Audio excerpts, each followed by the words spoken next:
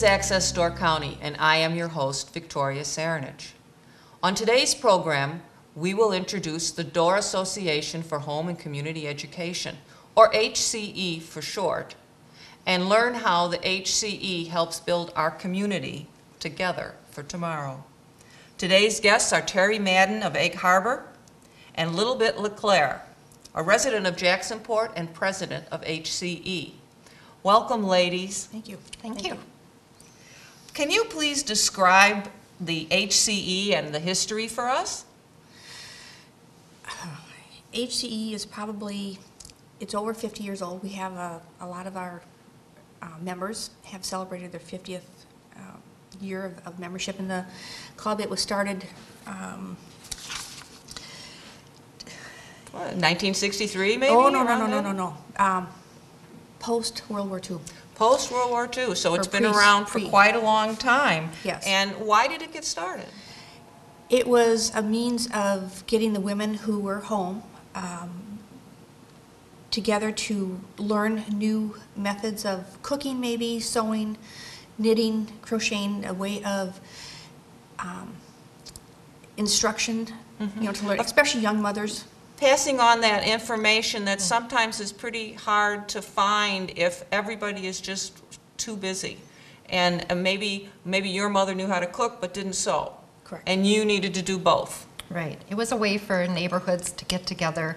Um, The, the farmers, the farm ladies, they would maybe have an afternoon, you know, bring the kids together and just learn a project that, um, that they could all go home and, you know, and use. And use. They had, I have um, some ladies who were in homemakers eons ago, and I have a wood floor in one of my cottages, and they brought me a recipe on how to refinish the wood floor, and they got it out of the Ripples magazine. And they called it a recipe. It was a recipe, and it was linseed oil and varnish and one other. There were two recipes, and one was the linseed oil and varnish, and then there was a third item, and I do not recall what that Well, and this is, ingredient was. uh, because this was before the day you just went to the store and picked it up, or you, you called somebody on the phone to do it. Door County's a little bit out of the way. Maybe uh, 50, 60 years ago, it wasn't so easy to get this, uh, these things done for you. So we had to come up with ways to do it You came- ourselves. You came up with the ways, and when HC started, Homemaker started, you had rationing from the wars, Mm-hmm. and they had to learn how, you know, I wouldn't have known how to can, and I would have probably gone to one of these um, meetings at somebody's home and learned how to can. Now, is that, is canning still part of what HCE offers? Yes, Yes. it is. Yes. Actually, Yes. Pam Peterson has done some programs on canning. Through I think extension. for a couple of years, she's done it and has had very good um, turnout. Now, was Homemakers originally part of the UW Extension System, or has it been uh, brought into, uh, into the fold? Because I know that's where you can contact them now. on this history that we have, um, the Door County Homemaker Council was organized in 1944. And um, it has a And list. you've it's got this Normally work copy? through the extension office, because it has, it has a list of the past presidents and the agents. And they were as early as 46, so it's been involved with the university for quite a while. And this history is available for someone if they'd like to read it? Absolutely, it's on the webpage. It's on the web page, and that would be the web page of the University Extension System? Yes, yes. And uh, so if someone wanted to know more about it, they would go to the University of Wisconsin Extension System for Door County, and they Mm-hmm. would look for the community programs, or the HCE, or... HCE. The HCE, Mm-hmm. that's great. Or they could call on the phone, and if someone, if they wanted to, I'm sure they could go and pick uh, the history up. Yes. But in addition to learning about the history, what uh, types of education or training or lessons is HCE providing today? I know you have a bookworms program. Right, Yes. yes. We are a volunteer um, Organization. organization that just, um, we do a lot of fundraising. We Okay. have, um, we've always done that. Well, tell me about a recent fundraiser. The recent fundraisers we've done are, um, we've done Stitches of Love, for, um, well, it's not actually a fundraiser, but we've done projects. That's for- okay. Tell me about Stitches of Love. It Yes. sounds really interesting. We've got Valentine's Day the- every year. Exactly.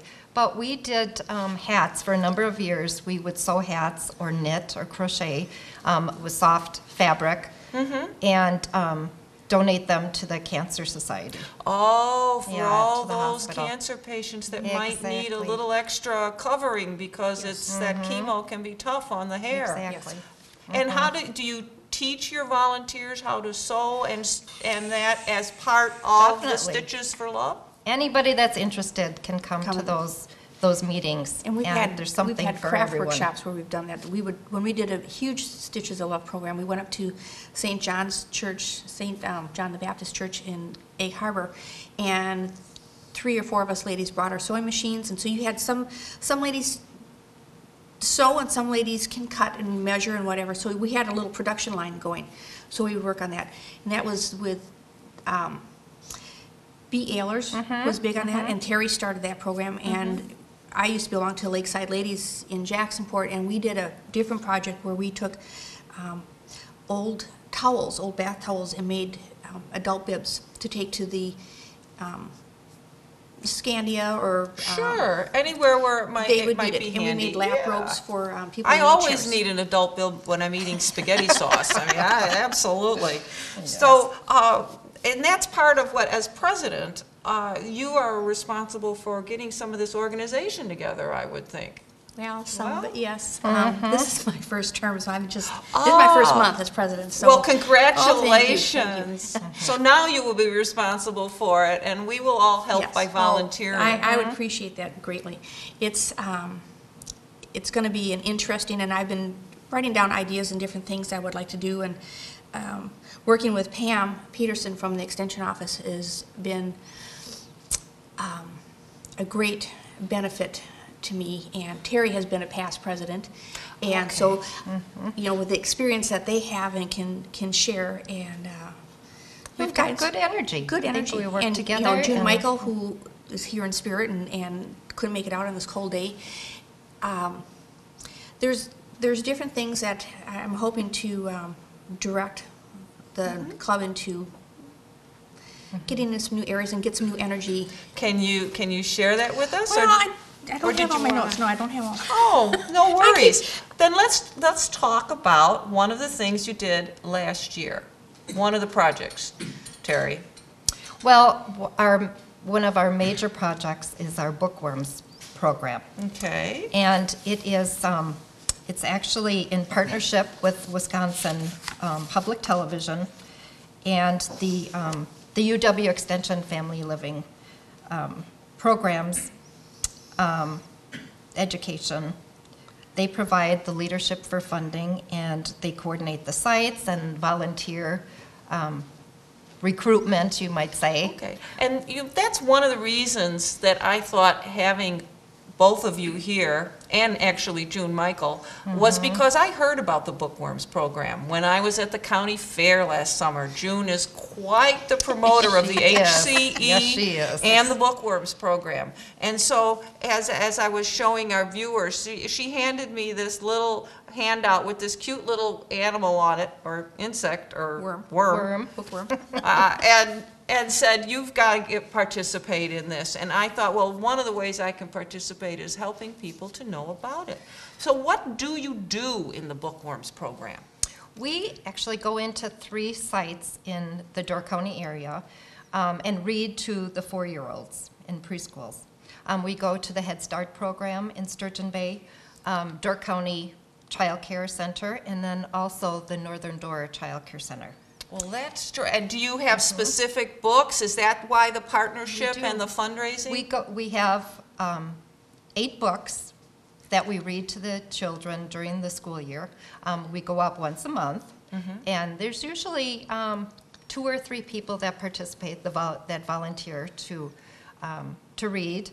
And we take the book, and we actually read it to the kids. It's kind of eh, very fun. I mean, I this is it. The way I feel. It's just kind of goofy. The illustrations are just and wonderful. these are three and four year olds. Three and four-year-olds, yep. we'll read it, we'll ask them questions, we'll do some fun things. They have the work, um. And it the comes with worksheets. that, yep, there's an activity sheet that if there's time, if the teachers will allow us to do it, we can um, do um, the activity with them. Um, And then, what's very special is they're able to take the book home with them. Oh. And they'll read it to their siblings, or have mom read it, and, um, you know, it'll just go It down. helps them bond with reading, which is so Yes. important for, And it shows all their, their feelings. I mean, we have a big smelly bear, the snowy day. That would be popular. These are great, yes. In a small, small pond, yes. And how do we hug a porcupine? Isn't Oh, cute? that might be tough. But they're, they're fun books, and the kids love them. They look forward to, you know, most of these ladies, they're older, so, you know, It's they like the call them grandmothers- grandmas. The grandmas, co- or the grandmas are coming to read today. Sure, Yes. the grandmas. They look forward to it. So if someone wants to volunteer to do just that program, what would be the steps they would take to contact you and what Mm-hmm. training would they get? It's, you know, we have, we have these brochures. They could go to the UW Extension and um, just ask or call. Okay, The- and say they want to volunteer for the bookworms program. Exactly. And they'd Then like to what read. would happen? Would they have to meet at a, is there a specific day of the month you would meet to ex- give them some training so they'd know what to do?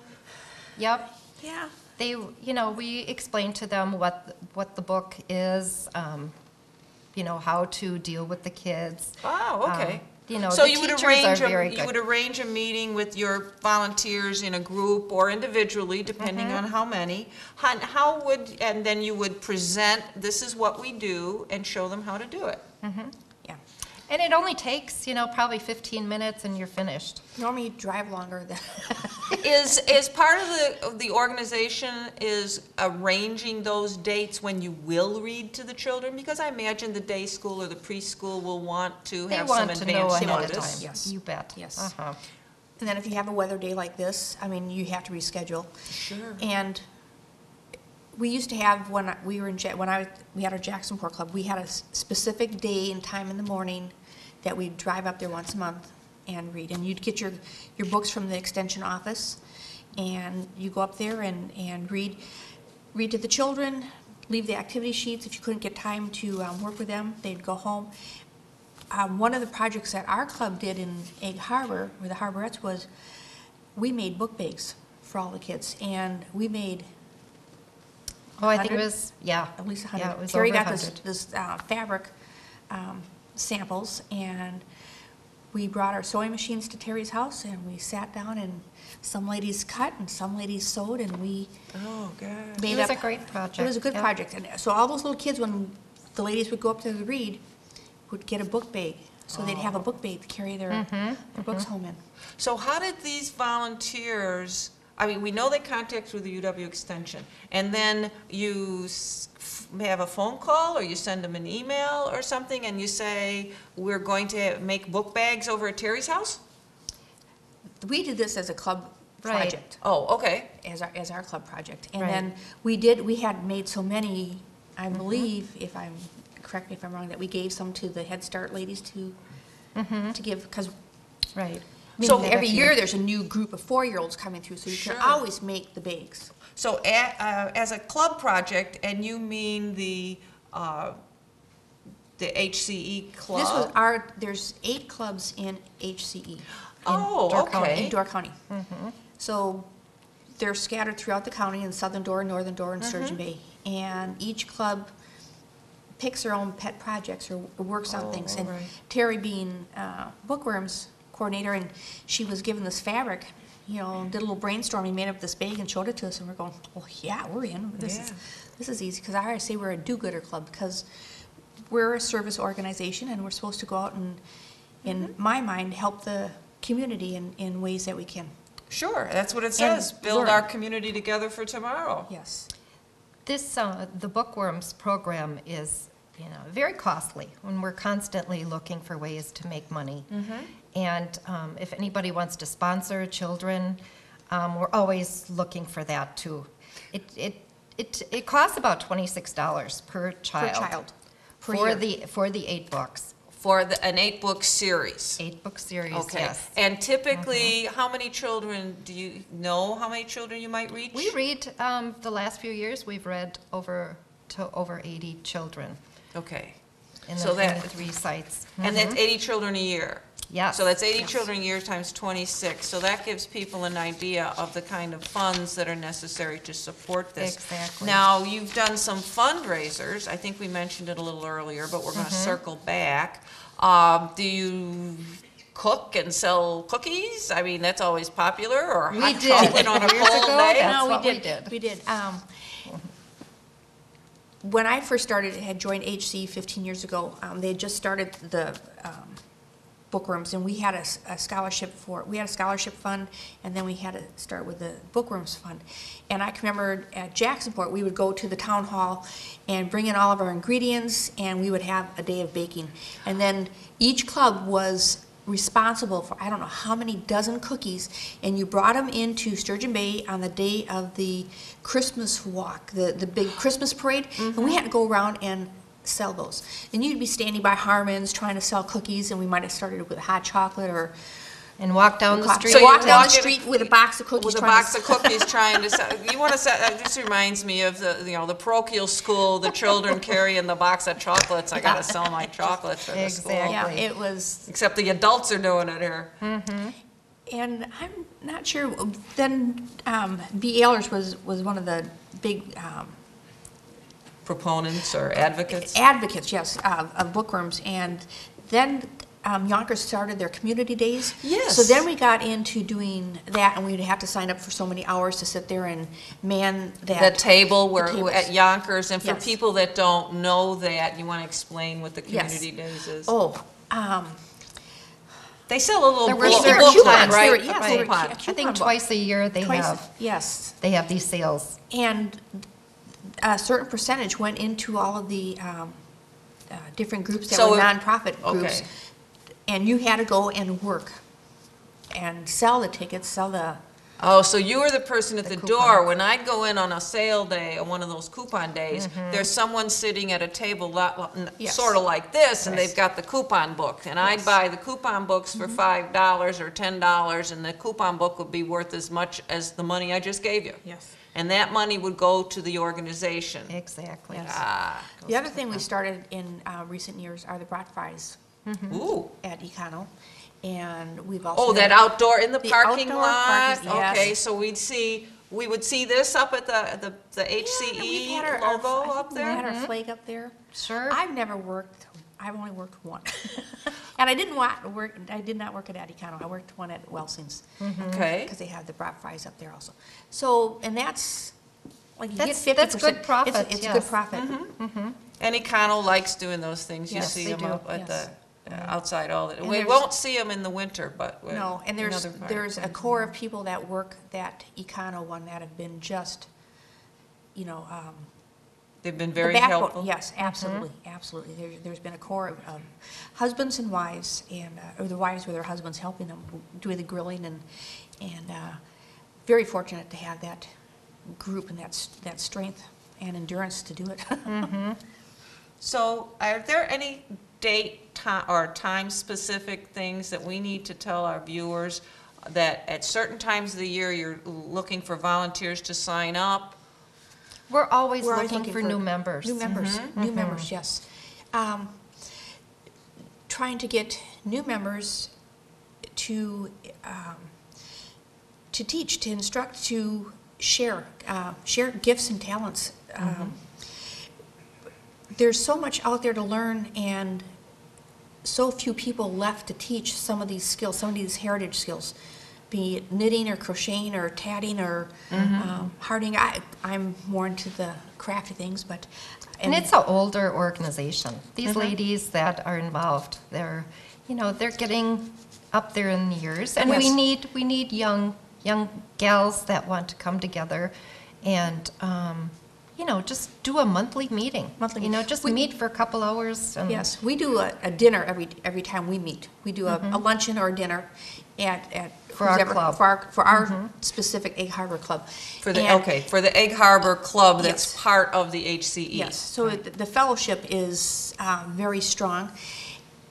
it's such an opportunity to learn. When I was a young mother and had just moved back to Door County, I wanted to learn some skills. I wanted more skills in bread making and um, different areas, and I wanted to learn strudel. When I was first married, I listened to, I looked in my cookbook and said, "Well, what do you do with a tablecloth?" I could, I couldn't fathom. We had a lady in our club, Catherine Miller, who was she was a wonderful person, and I was so glad I met her. And she was in Jacksonport, and she did a strudel demonstration at her home. And you'd take the table, and you would snap, and it would roll. the- Flip it. And flip it, and roll with all the filling in it. And I thought, that's why you need a tablecloth. But In a would- recipe, yeah. Yes. Is In your, in your list of ingredients, and you had the tablecloth, and you're I- I like, couldn't- oh, I don't know how I'm gonna chew that, I, I, I yes. couldn't figure it out. I could not, I could, and I'm so visual that I needed Mm-hmm. that demonstration. And she would do these demonstrations at the courthouse, at the um, old courthouse in the room with the, s- government the building. government building Mm-hmm. out with the kitchen. And everybody showed up for Bee's demonstrations, be it on canning or strudel making or knitting. She was a wealth of information and had such a gift for sharing her talents. So we don't wanna lose some of these, No. these talents and some of these abilities, and we wanna make sure the next generation knows how to do it. And it's one thing to watch the YouTube, and we all love YouTube, thank you, you viewers, but it's Yes. another thing to be there and do it hands-on. Well, and, and I think what's gonna happen in, in this, yes, they all have YouTube, but when you watch, um, and, and observe people now, they all have their phones, and you're not gonna learn anything unless they stick their phones in a basket at the door so they can actually concentrate on what is being instructed and and Sure. taught, because Absolutely. I mean, when we started home, you brought your young kids, and you had, you know, our mothers used to coffee clutch and, and do all that, and you, the kids went from house to house to house. And you knew all your neighbors, you knew your, your um, friends, and you helped. If you were learning how to make curtains, or window shades, or if you were gonna make a lampshade, finish your floor, bake, there was always somebody who had that skill and that talent to teach. And this is one thing that I would like to get back into homemakers, um, HCE, and to make sure we don't lose that talent. Those Right. talents, those, that knowledge, that knowledge doesn't People- disappear. yes, People don't know their neighbors anymore. They don't know their This is neighbors. a great way to get everyone Sure. involved. And, and that's one of the things we're hoping to do with Access Door County, is to try and reintroduce these subjects that are part of our community, using a bit of modern technology to tell people about the things that they don't want to forget. And so we're hoping that we can reach a lot of people. And if we, uh, so HCE, or Homemakers, is the parent organization for connecting with all eight clubs, is that correct? Correct. And if anyone lives in Door County, in any part of Door County, they can go to HCE at the UW Extension Office via the website or the phone. Mm-hmm. And then they can ask and say, I live in Egg Harbor, I- I- does it, is there an Egg Harbor group?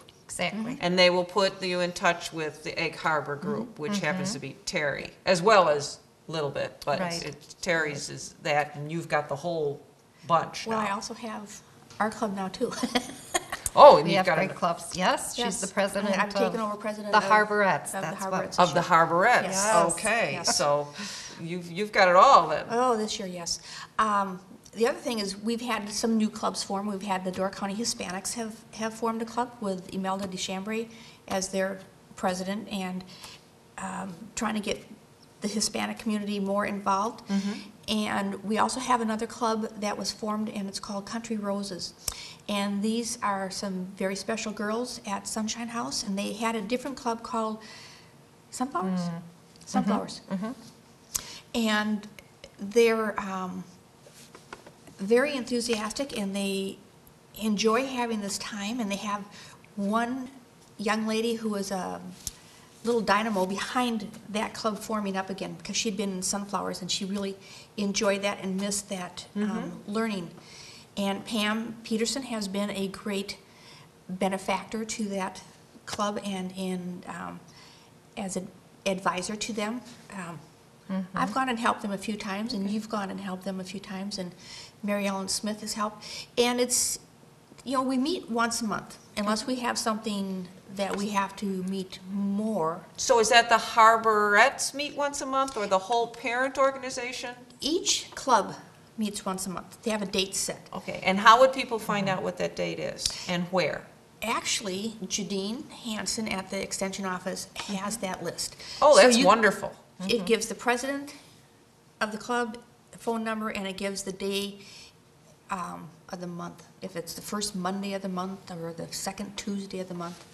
Each club has its own. And where it's at. And where it's So- at. So if someone is, that's watching would want to get in touch and just learn a little bit more, they would call the UW Extension Office and they would ask about the, the HCE program, and they would give their location, and they would say, can we find out where the local club is meeting? Mm-hmm. And Exactly. when? Yes. So that would be the next step for any potential volunteers, because you'd like to Right. get some more volunteers.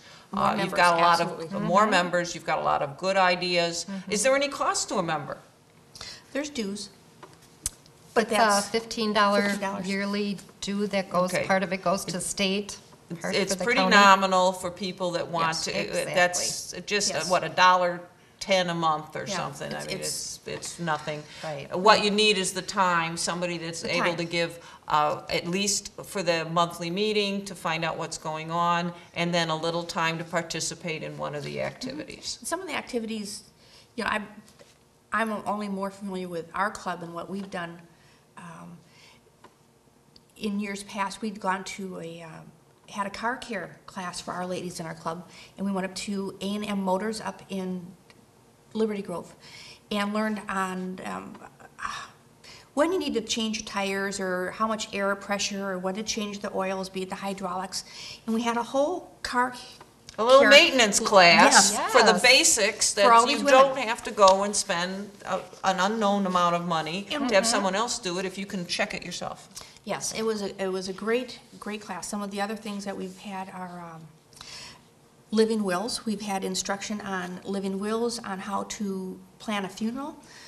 Um, So There are what you're- craft days. Yeah, Craft so, days. so what you're saying is HCE is a starting point for a large number of activities that are involved with your daily life. Absolutely. And it's a good place, if you want to start somewhere, if you have a question about something, you might start with calling HCE. HC. And the extension office has been, They're very supportive. well, supportive, but they do so much work for us um, in the office. In- Uh, well, sure, because they have those, those clerical abilities They and do, and they and they can have coordinate access, that and yes. standardize that and get the mailings out. Yes, and, and Pam, inst- Pam has a lot of classes that she has instructed, instructed on, in, um, on heart health, different cooking with her, f- the, you know, the family living agent, It- it's just, so many things tie in with home ec, homemakers and, um, HCE, it's, it- the extension office, it's, it's invaluable, the time and energy and the effort that they, and the support that they give our organization. Well, we really appreciate that, that Pam Peterson and the UW Extension Office for supporting the home and community education. Uh, So is there anything else that you would like to share with us before we uh, close the program for today? Anything you want to repeat? On bookworms, how many books did Pam say that we, she had sent out something. There were how many books that we read or had given out? Oh, over the years? Yeah. This is our 15th year um, reading. Uh, On bookworms. And I- Bookworms. Well, I don't remember the count, I'm It sure, was 10 th- 10,000 books that we have given out, and I'm thinking seven, 700 children? Up, 900? Well- 1,200? we'll keep going. hundred. Twelve hundred Okay. children that we have read to in fifteen years. All right. Well, we mm-hmm. really appreciate you taking the time to be with us today at Access Door County, and also for your time with Why, thank you. the home Thanks so and much for community having us education. here. It's been a And- pleasure meeting you. Thank you very much. Thank you, Little Bit and Teri. And you've been watching Access Door County with your host, Victoria Cerinich, the Home and Community Education Program at the UW Extension Office. This is Access Door County. Your TV channel in Sevastopol, 986. Thank you.